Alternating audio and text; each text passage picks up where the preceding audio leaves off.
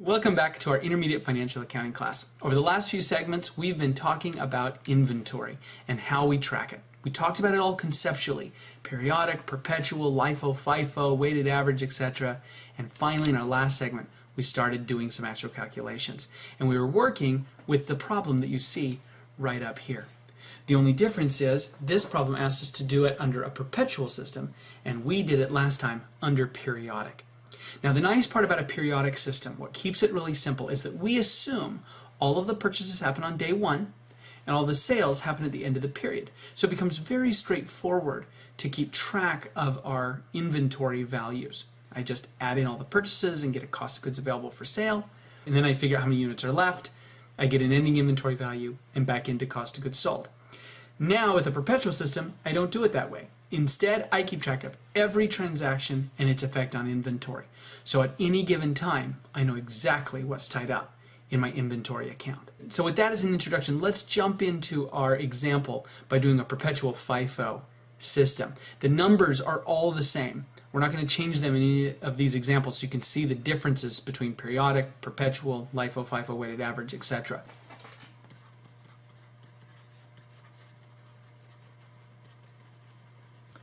We're going to start with a table, and this time I'm going to have four columns, but a couple of them are going to be very wide. So we're going to start with our date, and then we're going to put in our purchases,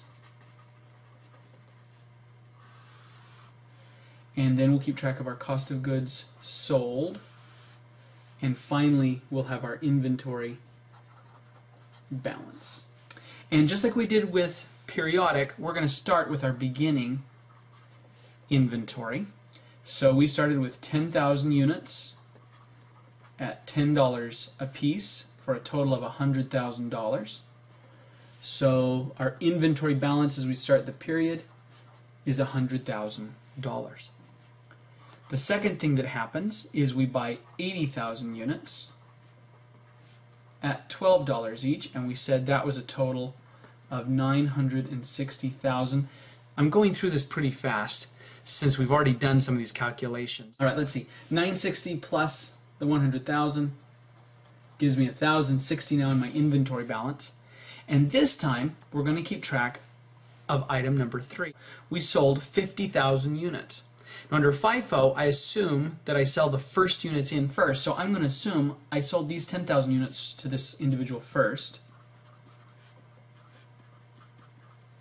And then I would need 40,000 more units to complete the order, and they would come out of this 80,000. And you know, how you track this is really up to you. I always keep a running total off to one side when I'm doing a perpetual system. Again, up to you.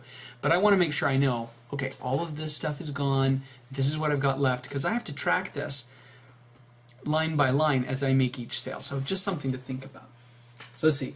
10,000 units went out here. Another 40,000 units are going out, this time at $12 each, to be the 50,000 units that this customer purchased. So let's see, 10,000 times 10, cost of goods sold is 100,000 here, and down here, 480,000. So let's see, 1,060,000 minus 100 minus 480 gives me a new total of $480,000 in my inventory.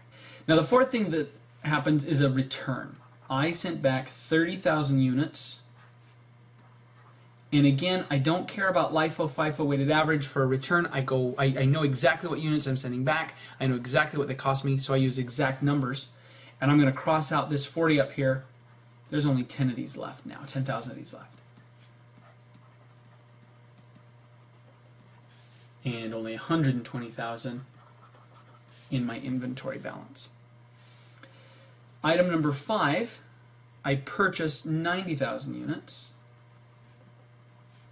at $15 each. That was 1,350,000. So my inventory balance jumps up 1,470.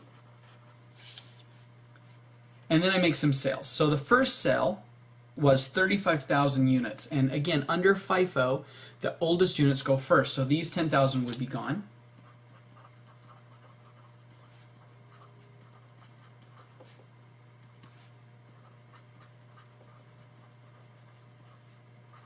And then to make up the rest of it, I would sell 25,000 of these units. So that drops this to 65,000. So let's see, 25,000 units at $15 each gives me a total of 375,000. If I take the 1470 minus the 120 minus the 375, I end up with $975,000 now in my inventory. Transaction 7, 45,000 more units. Have no option, they have to come out of this last sale. So 45,000 at 15 is $675,000 for a total of 300,000 and this is ending inventory. So my first question was what was ending inventory? My next is COGS. I've already got my ending inventory number. Now when I finish my perpetual inventory table, there's some information that I need to make sure I have so that I can do a cost of goods sold section in my income statement. So beginning balance 100,000 purchases 2 million 310,000 and that's this and this. Discounts 0 returns 360 I've got my ending inventory, I've got all this information, now I need my cost of goods sold, and I'm going to get that by just adding up this column. So cost of goods sold will be one million seven hundred and fifty thousand dollars, and that's the other number that I was looking for. Now, before we go on and do LIFO and weighted average, I want to go back and show you something that's a really important feature or function of FIFO. I'm going to go back to the examples that we did in our last segment when we were calculating using the perpetual or the periodic inventory system. And notice right down here in the bottom right, there's my ending inventory value, 300,000, and my cost of goods sold, 1,750,000. What do you see? They're exactly the same. One of the features of FIFO is that periodic and perpetual give you the exact same number. It's the only one that works that way on a consistent basis. If you sell off all of your inventory, then LIFO will do the same thing because you have zero and zero and all of it in cost of goods sold. So it, it can happen in the others, but not very often. But it always happens with FIFO. Let's go back. Still doing a perpetual system, but now let's do it for LIFO. So LIFO perpetual. And the setup is going to look exactly the same. The only difference is what we're going to assume about the units that we're selling. So again, we're going to have a date column, a purchases column, a cost of goods sold column, and an inventory balance column. Let's go through some of this pretty quickly because the numbers are basically the same for all of these purchase column items. So it's still 10,000 units at $10 each for $100,000.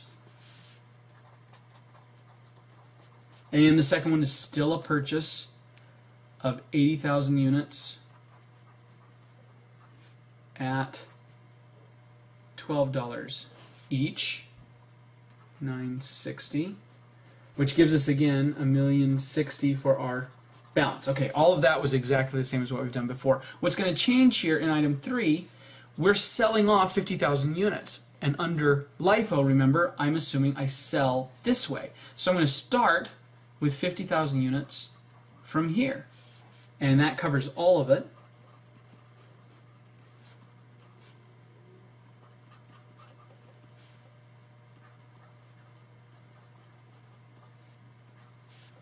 And drops my inventory balance to $460,000. Now item 4, still the return, 30,000 units at 12 each. Again, I don't care about what method I'm using. These are now gone. So this now drops to $100,000 again because in this assumption, the units I have left are these 10,000 units up here. All right, number five, we buy 90,000 units at $15 each. So 1,350.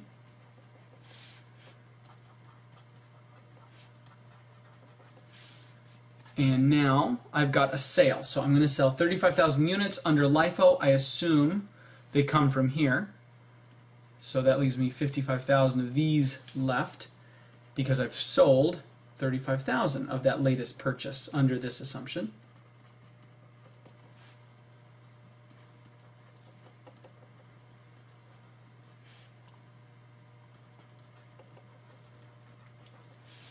And number seven, I sell another 45,000 units. Again, it would come from these recent purchases.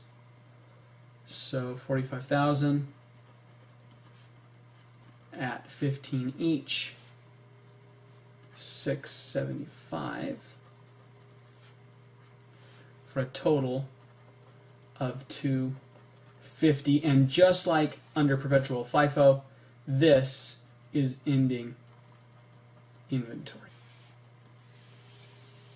Now, again, we want to gather that key information. Beginning balance is still 100,000. Purchases still 2,310,000. No discounts. Returns are still 360,000. And now I can calculate cost of goods sold 600 plus 525 plus 675 1 million 800 thousand. Very different from cost of goods sold and ending inventory under FIFO, and very different than it was under our periodic LIFO. And we'll go back really quick and take a look at that. There you go. You can see ending inventory 220 instead of the 250, 1,830 instead of 1,000,008. So doesn't work out like FIFO does. You have to actually go through and do a whole table if you want to do perpetual LIFO. All right, last one then, and that's our weighted average perpetual.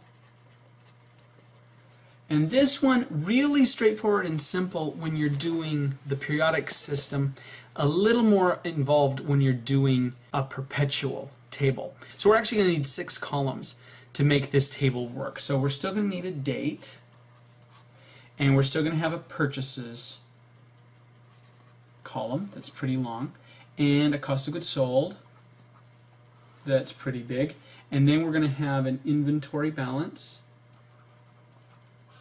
and from there we're going to need to add in a number of units column and an average cost per unit column. So a little bit more involved. There's more calculations here, which adds to the fun, so that's okay. 10,000 units at $10 each is that 100,000. I'm going to abbreviate here because I have more columns. So my inventory balance is 100,000. I have 10,000 units on hand. If I take my inventory balance divided by the number of units, that gives me my cost per unit. So in this first case, it's just the $10, which makes sense because I just undid what I did over here. Transaction number two is that first purchase. So 80,000 units at $12 each, 960,000. New inventory balance 1060. I now have 90,000 units on hand, and if I divide 1060 by 90, I get $11.78 as my average cost. Now, transaction three, I have a sale, and I'm going to sell 50,000 units, and I'm assuming that they cost me $11.78. I'm just going to take this number and put it right there. So my cost of goods sold on this one, 589 which gives me a new inventory balance of 471 and a new number of units 40,000 and if I divide I end up with the same 1178. Number four, I send those units back, which we've done several times now. These four units, they've come and gone so many times. Again, when I send something back or get a discount, I don't worry about weighted average LIFO FIFO. I have them on the pallet. I know exactly what units they are, and I send them back at whatever I paid for them. So that's going to drop this to 111,000.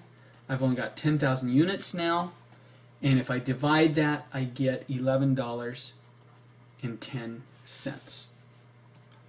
Number five, I buy new units, $15 each total of 1,350,000 kicks up my inventory balance to 1,461 and I now have 100,000 units and my cost per unit changes to $14.61. Number 6. I sell off some units.